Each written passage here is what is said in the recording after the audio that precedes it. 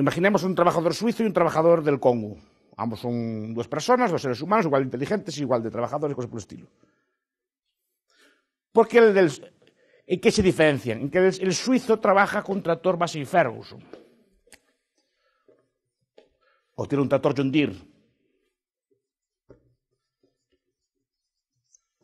Y trabaja ocho horas o diez horas y con su tractor produce mil kilos de maíz.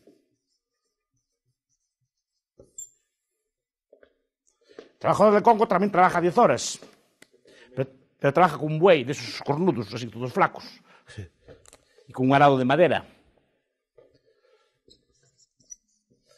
Trabaja 10 horas, pero solo produce 100 kilos de maíz.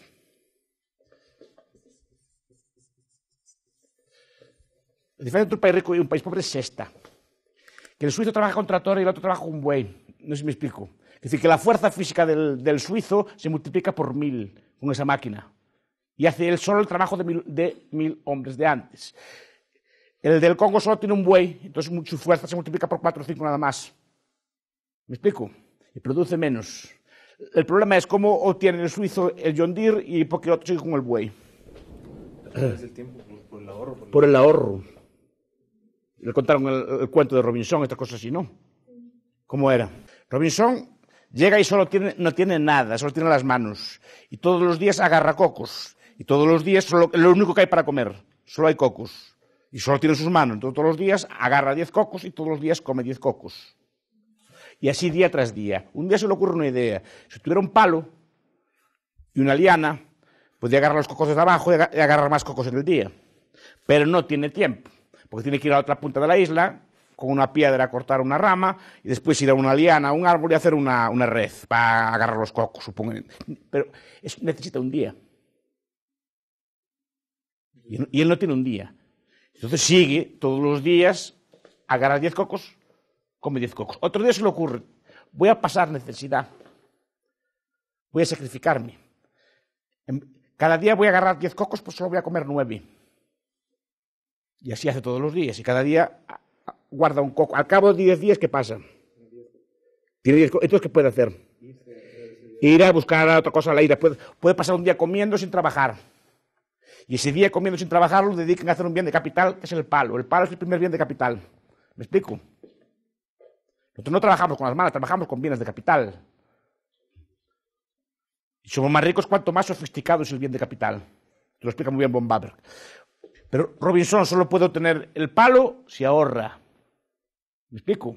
Pues el suizo tiene el John porque él, sus abuelos y sus bisabuelos ahorraron para que tuviera el John. ¿Me explico? Primero empezaron haciendo arados de metal, después pasaron a haciendo eh, carros más sofisticados hasta que pudieron ahorrar lo suficiente como para poder financiar un tractor. Por eso es tan importante el ahorro y por tanto tan importante el tiempo. Bueno, pues el estado de bienestar aniquila el tiempo.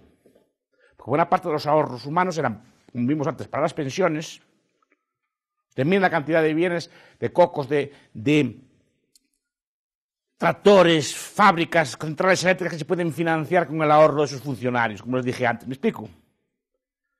Si ese ahorro, en vez de ser ahorrado a largo plazo, es comido en el año, le pasa como a Robinson que no da ahorrado nunca, no da mejorado nunca. ¿Me explico? Entonces, los sistemas de pensiones, los sistemas de educación, los sistemas de sanidad rompen la idea de tiempo, que hace que la gente no ahorre. Dice, ah, ya el Estado me da. La gente antes ahorraba para una enfermedad, la gente antes ahorraba para pagar la educación a los hijos, la gente ahorraba para eh, tener una, un ingreso cuando era viejo. Ahora no, el Estado te lo da. Entonces, la consecuencia que es que la gente ahorra menos. El, el, ingreso del año se gasta en el año, no hay ningún ahorro, por tanto las sociedades se descapitalizan. Pero es tan importante, y, soy yo tan crítico con el estado de bienestar, no solo por factores morales que destruyen la moral de las personas, la, la, la acostumbra a, a, que no es capaz de valerse por sí misma ni de trabajar, sino que descapitaliza las sociedades. Por eso soy tan crítico con estas ideas socialdemócratas y socialistas.